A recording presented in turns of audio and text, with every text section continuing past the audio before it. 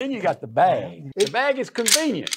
and it's just easier to tote around, and, and you get the same sounds. You know, I, I've had many, many people tell me how successful they've been with the bag. oh, I That was Slade. Slade rattled one up.